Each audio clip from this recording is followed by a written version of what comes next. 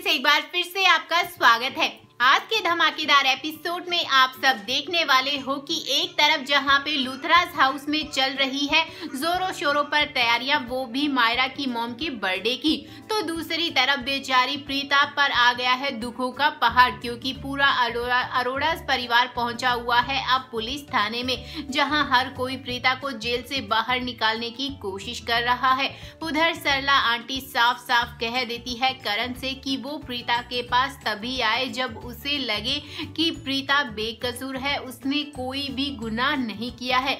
उसके बाद करण को भी एहसास होने लगता है कि शायद कुछ तो गड़बड़ है, इसीलिए तो वो सीधा चला जाता है इंस्पेक्टर के पास में और इंस्पेक्टर जाकर बोलता है कि मैं देखना चाहता हूँ कि प्रीता के खिलाफ किसने केस रीओपन करवाया है और कौन सा वो वीडियो है, जहाँ इंस्पेक्टर साफ़ साफ़ नाम लेते हैं शर्लिन का। शर्लिन का नाम सुनकर दिमाग में अब करण की कुछ उलझने आना शुरू हो जाती है और उसे पता चल जाता है कि शर्लिन एक बार फिर से प्रीता को फंसाना चाहती है, लेकिन इस बार मैं ऐसा नहीं होने दूँगा। इस इसीलिए तो करण प्रीता के पास आता है और उसे कहता है कि वो चिंता ना करे, वो उसे यहाँ से हमेशा के लिए निकाल कर रहेगा।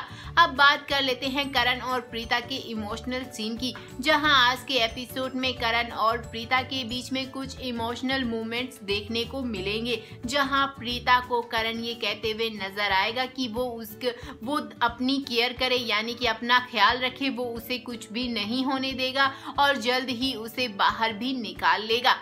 तो वहीं बात करें लूथराज हाउस की। अब करण सीधा लूथराज घर में आ गया है, जहाँ पे वो अब शर्लिन के खिलाफ सबूत ढूँढने की कोशिश करेगा, वो वीडियो ढूँढने की कोशिश करेगा जो कि शर्लिन ने किया था एडिट। तो दूसरी तरफ़ मायरा करण को फिर से फंसाने की कोशिश करेगी, यानी कि अपने बातों में लाने की कोशिश करेगी।